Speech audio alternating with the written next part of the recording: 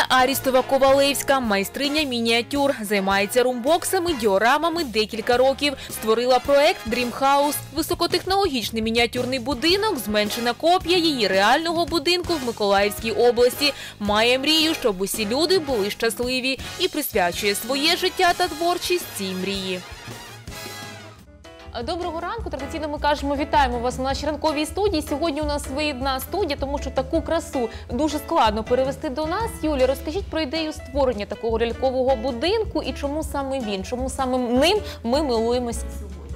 Вам Э, Я живу в Николаевской области в доме, и я решила сделать уменьшенную копию своего дома, э, только еще улучшенную и э, ну, усовершенствованную. Як розпочалася ця ідея? Ви займалися творчістю? Взагалі, от м, коротенько ваша історія, як ви потрапили саме до Миколаївщини? Э, Я вышла замуж за местного э, мужчину вот, с Николаевской области, из села Цепетли. И он э, знал, что я мечтаю жить в собственном доме, э, и он нашел там дом и купил его для нас. И мы там стали жить, стали реконструировать все, стали достраивать. Вот так вот и, та- так и сложилось, так я и переехала. Но я с самого детства э, на самом деле мечтаю э, жить в собственном доме, на природе. Тобто той будиночок, який ми зараз бачимо, це повністю прототип того, в якому будинку ви мешкаєте на сьогоднішній день. Чи ні? Чи є якісь відмінності? А, э, Да, есть э, отличия, конечно же, но основная база взята а, из настоящего дома. То есть я ходила с рулеткой, обмеряла дом э, со всех сторон, и э, тогда его уменьшала в 16 раз, эти размеры. А, И, конечно же, ну, тут нужна была фантазия, что будет в проекте. То есть этот дом, этот маленький дом, это то, что в проекте. Почему называется «Дом моей мечты», да, Dream House? Потому что это э, на будущее. Вот как оно будет в будущем. С достройками, с отделками. Сейчас он, конечно, еще выглядит не так красиво, но и мы к этому ми потім ще побачимо в масштабі цей будинок, той, той в якому ви будете мешкати. В нього ще назва назва Мімі Мімзі, так якщо я не помиляюся. Чому ще така назва? А, Мими Мимзи – это мой как творческий псевдоним, как, э, ну, э, как товарный знак, я не знаю, как это сказать правильно. Э, Изначально было Мимзи. Вот, Мимзи – это герой фильма «Последняя Мимзи вселенной». Там был заяц, которого звали Мимзи. Вот, посмотрите фильм, если будет интересно. Вот, и а, потом я как-то думала, я поняла, что вот эти все миниатюры, они очень мимими, потому что у всех это ну, вызывает вот это вот мимими. И тогда я добавила мимимимзи, то есть мимзи это просто имя английское, вот. Я добавила мимими, получилось мимимимзи, это будет мой как бы логотип, э, знак товарный в будущем. А, До цього ви займалися якою-небудь творчістю? От перед Да. тим як створити, розкажіть. Да, я была художником э, около шести лет. Я работала в группе СИН. Э, Эта группа стала номинантом на премию Пинчук Арт-центр в 2010 году в Киеве. Вот, мы делали много проектов разных. Э, А теперь вот э, начала делать э, миниатюры. От е, скільки часу ви витратили на те, щоб збудувати такий будиночок, який ми можемо бачити сьогодні? Часу, часу. Часу, а, часу. А, Значит, мы его делали полтора года. То есть от момента зарождения идеи, потом проект- проектировка, потом это все построение, прошло вот полтора года с тех пор. Хто вам допомагав в проєктуванні, а, в в створенні? Чи це безперечно лише ваша е, особиста робота? Сначала я, э, э, значит, сначала я думала, как, э, как, что я могу сделать. Потом я поняла, что я могу сделать копию своего дома. А, Значит, проектирование я сама делала. Вот. Единственное, что я спросила у мужа, как он, как, как он видит наш дом. Да? У него есть проект, внутри в голове был, а, как он видит, где он что хочет сделать. Тогда я спросила, он мне все рассказал, нарисовал, и по этому проекту а, я построила этот маленький дом. От Як відреагували е, ваші близькі родичі на вашу ідею? Вони підтримали чи подумали, що це щось божевільно і нереалізовано? От побудувати, зробити такий будинок? Ну, хорошо відреагували, они даже поддерживали, підтримували всячески. То есть они там инвестировали и помогали с идеями, с материалами, хорошо отре- отреагировали. Ну, я благодарна очень своей семье, потому что без нее бы этого не было, это точно. А, наскільки я знаю, нічого подібного в світі ще не, не, не було, да, таких мініатюр. Чи я помиляюся? От ви це відслідковували в мережі інтернет? Можливо, хтось за кордоном робив такі будинки? Да, я слежу за тем, кто что делает. Конечно же, кукольные дома, их очень много. И они есть старинные, есть раритетные, есть очень дорогие.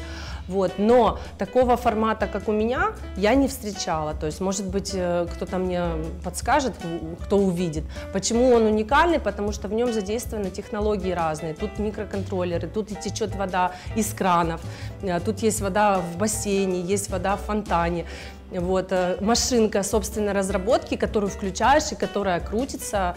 Э, То есть такого масштаба, чтобы вот столько диодов было, чтобы включался везде ну, свет отдельным выключателем. Ну, такого я не встречала. То есть, ну, в принципе, бу- будинки есть разные кукольные. Вот, э, но вот э, с использованием именно технологий, почему высокотехнологичный? Потому что здесь используются микроконтроллеры, диоды, плата, э, программирование, вот, то есть, э, чтобы оно, например, вот мерцало, да, там раз- разными цветами, да, использован э, микроконтроллер, чтобы мерцал эм, камин, да, чтобы он не просто горел красным, а чтобы он так переливался, тоже стоит микроконтроллер, который на компьютере программируется, э, ему задается частота вот, э, ми- ми- мигания, вот, вот так вот. Просто якась дивовижа. От у мене немає слів, я ще знаходжусь поряд з цією красою. Е, чи ну безумовно, що одразу все не вдавалося, да? що були якісь проблеми, помилки. Чи не хотілося вам полишити цю ідею? Каждый день. В течение полтора года, каждый день э, у меня было отчаяние, у меня было э, непонятно, сомнения, непонятки, зачем я это делаю. То есть я всегда думала, что я хочу делать это ну, для людей, чтобы вот человек пришел, и он увидел, он вдохновился, он вспомнил себя в детстве, свой, э, свой микромир.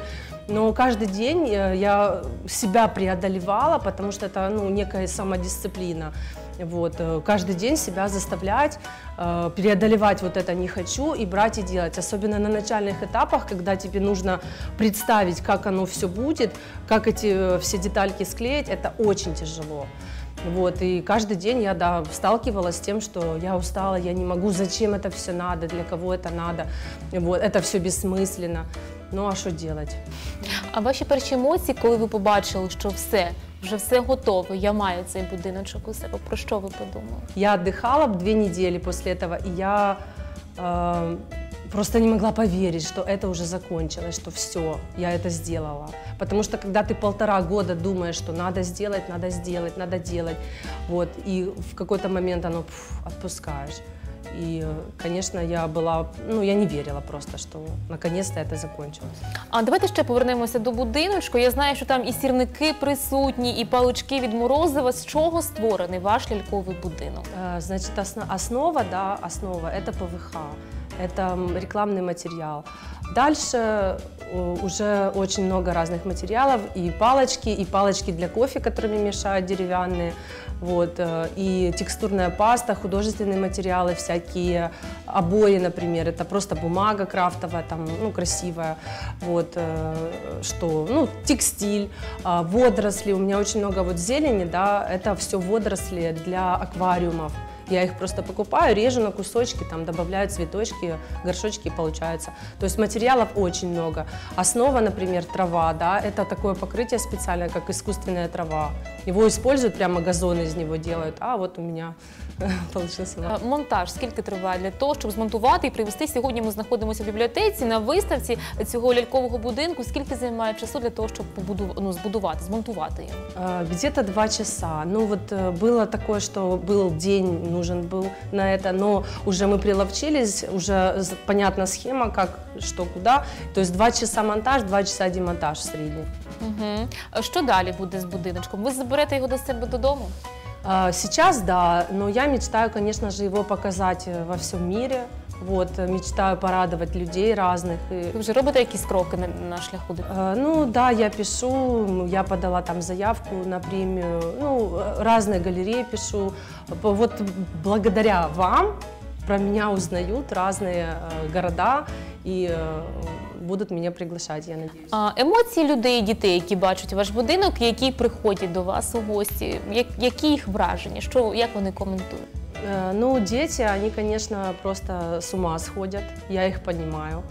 Вот, в их возрасте я бы тоже, я не знаю, что бы со мной было, потому что это такое все маленькое, этот микромир. Вот, взрослые, э, по моей задумке, они как раз вспоминают, какими они были детьми, как они строили маленькие кукольные домики у себя, либо какой-то микромир создавали.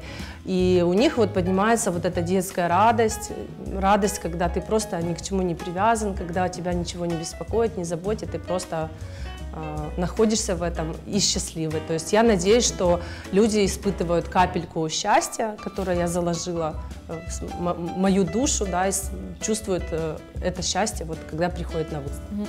А зараз багато хто з глядачів скаже, ми теж хочемо таке повторити вдома. Можливо це зробити чи ні? Чи все ж таки цей будинок унікальний? Я вам так скажу, а, в мире нет ничего невозможного. Вот в этом мире, в котором мы находимся, все возможно. То есть я в это э, и, ну, верю, э, свято верю в то, что все возможно.